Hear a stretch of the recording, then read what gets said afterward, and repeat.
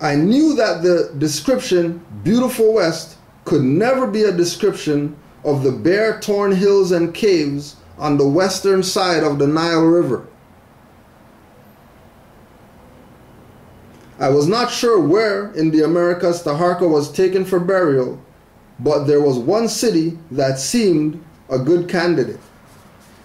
The Aztecs said the ancient ruined city in Mexico known as Teotihuacan, T E O T I H U A C A N, had been a burial place for rulers who died and became gods. Throughout Teotihuacan stood terraced bases that were once surmounted with pyramids, temples, and monuments built to honor the deceased quote unquote gods. Mexicans told Sahagun that the long wide street in Teotihuacan was called the Street of the Dead and the Road of the Gods. They informed Sahagun that Teotihuacan was an ancient city and they set of this burial center.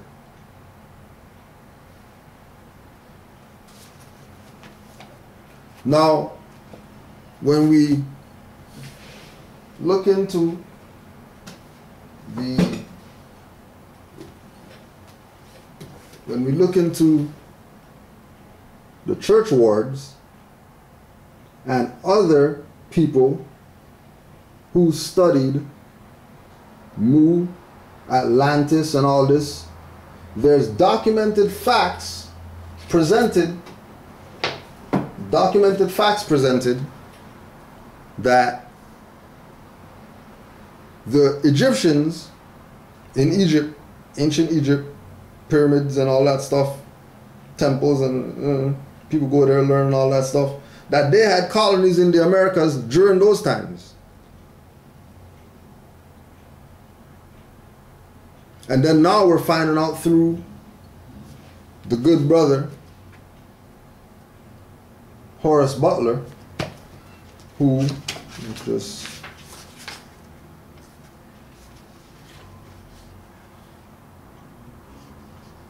who um, has his book filed in the Library of Congress. It's in there. They haven't taken it out. So clearly, you know, there has to be some legitimacy to his claims on the research that he found if they got it in the Library of Congress.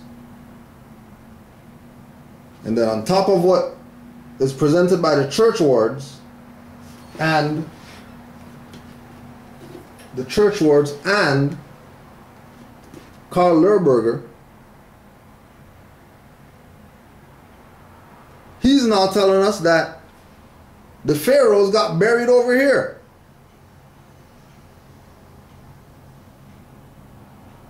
Now we already know that when you're talking about this side of the hemisphere, the west, we're talking about Moroccan Empire. Which would make sense now why Noble Ali in the prepared section of the Holy Quran goes into the connection between Egypt and these fictional nations called Canaanites, Moabites, or whatever like that, that got permission to settle on this side when they got drove out of wherever they were at. And they're still to try to pretend like they have no connections over here. When the people who they say that they rep left over there and came over here to bury the pharaohs. Why didn't they bury the pharaohs in Egypt?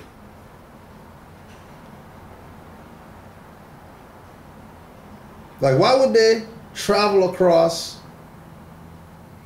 land, air, sea, whatever like that,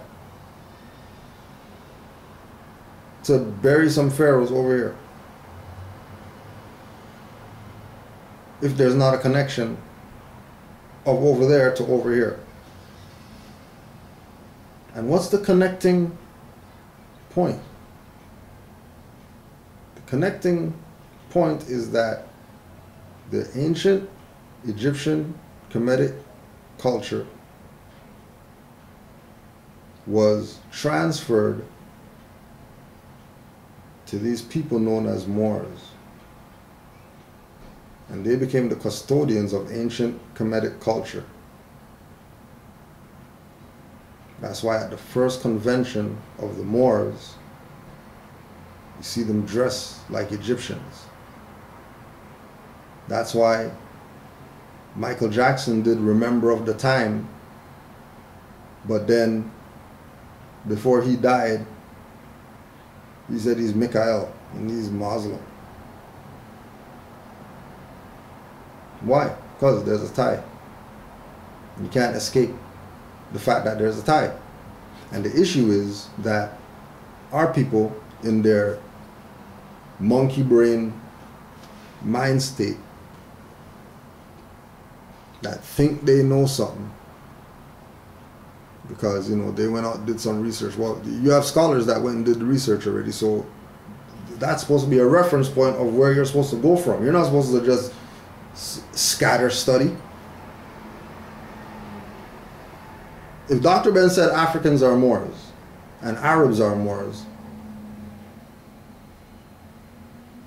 right?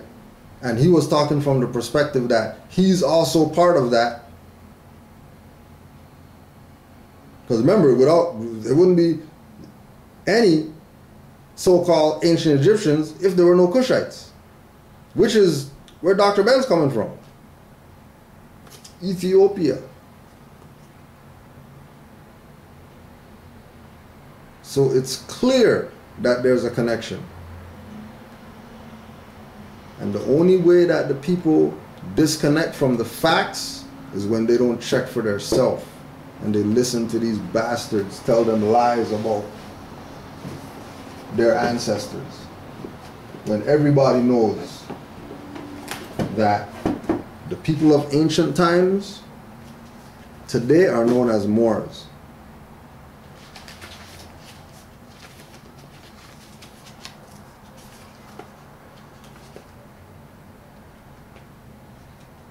Moorish Guide, National Edition, Chicago, Illinois, 1935. 1935. So after Noble Drew Ali. A warning from the Prophet. So after Noble Drew Ali, 1935, they put this in the paper, which was going all over the country or whatever, right?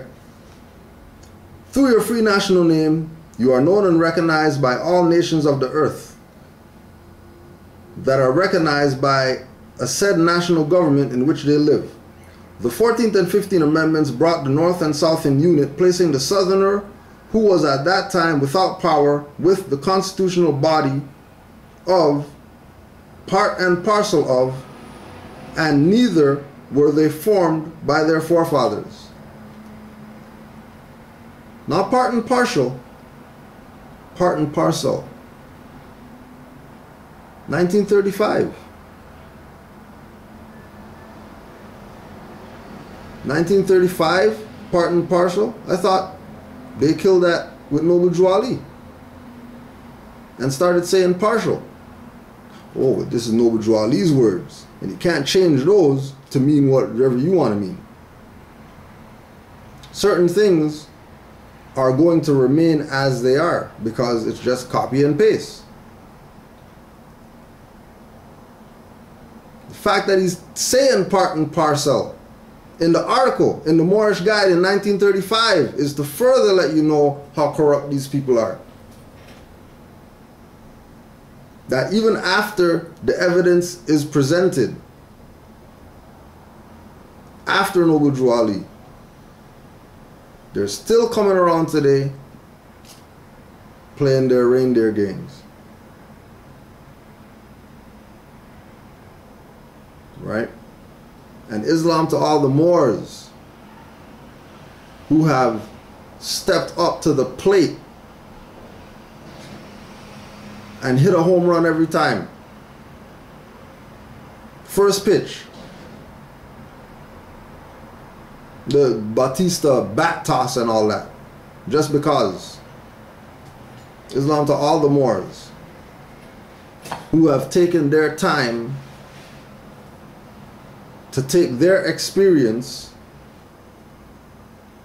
and put it out there, regardless of what the outcome was.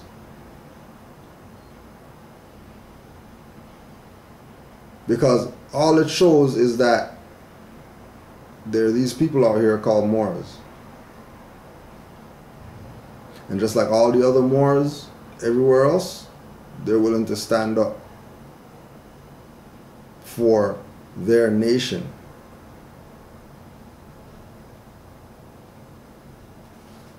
Nationhood is why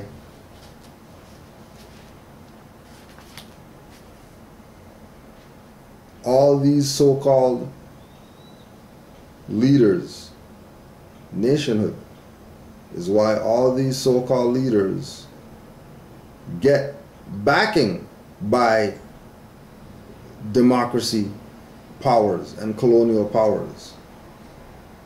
Because they know that the people are Moors. They can't give, they can't pay off a black guy. Whether he knows it or not, they know.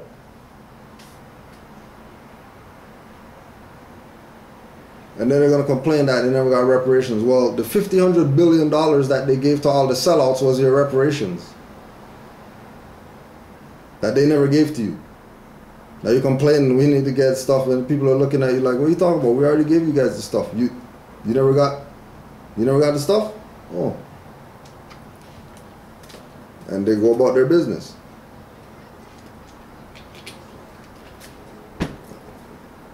All people have to do is check. Black guys said it themselves. Conscious black guys. To trying to make a point of, you know, we were gonna sell and all that stuff. They said, yeah, yo, they spend big money for agents.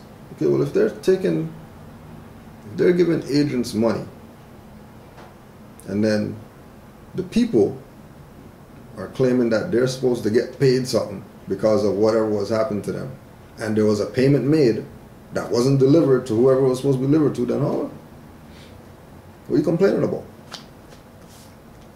Should be strangling those black leaders. No different than, no different than the Moors out there. You know, Islam to the Moors that recently um, came back home for real because they bumped into a dirty Moor in Canaanland and got hit for 600 bucks. And they didn't even getting anything. 600 notes. And now remember, they paid 600. They paid 600 and the individual is asking the question about how how do you put LRB on your name? you paid 600 if you paid 600 shouldn't something come with that? Oh but you know people think that they're higher than thou that you know this is a national and divine movement so divine you know that ain't coming for now. All right tell people the only way, the only way that our people don't know about this is because some dirty Moor gave them a sour taste in their mouth with regard to this. Or way more people would be on this. Which is why, again, Islam to all the Moors who step up and, you know I mean, make their own flyers and stuff like that and give them out.